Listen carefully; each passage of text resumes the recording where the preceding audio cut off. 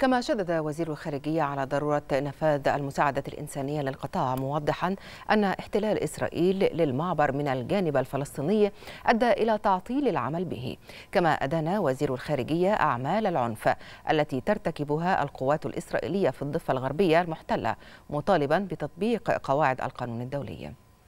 تحدثنا عن مسألة الوضع الإنساني والصحي الكارثي الكارثي في قطاع غزة وأهمية النفاذ الغير مشروط وغير المقيد للمساعدات الإنسانية في ظل الانتهاكات السافرة للقانون الدولي الإنساني بمنع وصول هذه المساعدات شددت ومعالي الوزير الصفدي على رفضنا الكامل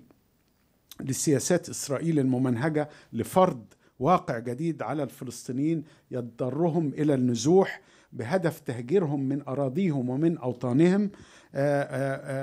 بما يؤدي في النهاية إلى تصفية القضية الفلسطينية.